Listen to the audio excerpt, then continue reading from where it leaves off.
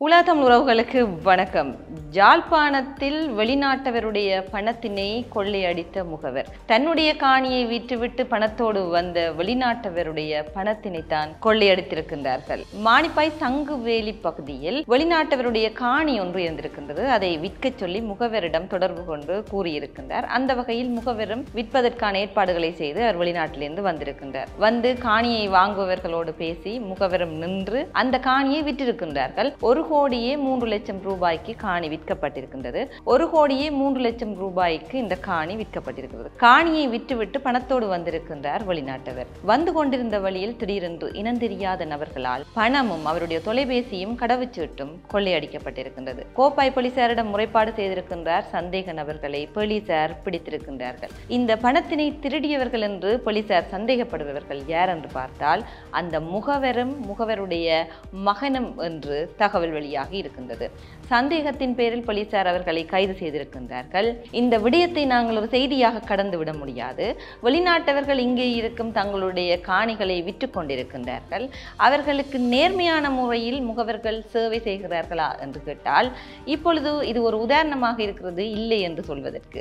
முகவர்கள் என்று சொன்னாலே அது வெளிநாட்டிற்கு அனுப்பும் முகவர்களாக இருக்கட்டும் அல்லது வேறு துறை சார்ந்த முகவர்களாக இருக்கட்டும். அவர்களிடம் நேர்மை என்பது நிச்சயம் இருக்க வேண்டும். ஏனென்று சொன்னால் முகவர் சொல்லும் ஒரு விடயத்தை நம்பித்தான் ஒவ்வொருத்தரும் ஒவ்வொரு விடயங்களை செய்வார்கள். அந்த வகையில் தான் வெளிநாட்டிலிருந்து வந்தவர் தன்னுடைய காணியை விற்று விடலாம் சரியான முறையில் இவர் விலை பேசியிருக்கின்றார் என்று பணத்தினையும் வாங்கி கொண்டு வரும் பொழுது அவர்களே இவர் பணத்தோடு செல்கிறார் என்று தன்னுடைய மகனுக்கு சொல்லி அந்த பணத்தினையும் திருடப்பட்ட சம்பவம் என்பது யாழ்ப்பாணத்தில் இவ்வாறானவர்கள் இருக்கிறார்களா? அல்லது யாழ்ப்பாணம் எங்கே போய்கொண்டிருக்கிறது என்ற கேள்வி எழுகின்றது. ஒரு பானை சோற்றிற்கு ஒரு சோறு பதம் என்று சொல்வார்கள். அதனால் ஒருவர் செய்யும் தவறு என்பது ஒட்டுமொத்த இனத்தையும் தலைகுனிய வைக்கும் ஒரு செயலாகத்தான் இருக்கும்.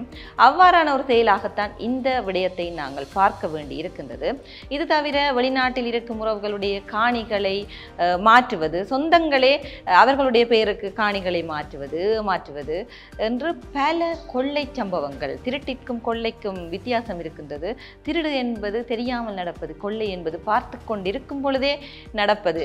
அதுதான் அவ்வாறான விடயங்கள்லாம் இப்பொழுது நடந்து கொண்டிருக்கின்றது. இதை ஏன் பலிசார் வெளியே கொண்டு வருகின்றார்கள் என்று சொன்னால் வெளிநாட்டிலிருந்து வந்து இங்கே முதலீடு செய்பவர்களாக இருக்கட்டும் தங்களுடைய காணிகளை விற்பவர்களாக இருக்கட்டும் என்ன ஒரு கொடுக்கல் வாங்கல் நடவடிக்கைகளை செய்பவர்களாக இருக்கட்டும் நீங்கள் சரியானவர்களை தெரிவு செய்து அவர்கள் மூலம் நீங்கள் ஒவ்வொரு விடயங்களையும் செயற்படுத்த வேண்டும். ஏனென்று சொன்னால் போலியானவர்கள் எவ்வாறான முறையில் உங்களோடு தொடர்பு கொள்வார்கள் என்று நீங்கள் அறிய முடியாது. ஏனென்று சொன்னால் போலிகள் உண்மையை விட உண்மை போல நடிக்கக்கூடிய வல்லமையுடையவையாக இருக்கும். மற்றொரு தொகுப்பில் உங்கள் அனைவரையும் சந்திக்கும் வரை வணக்கம்.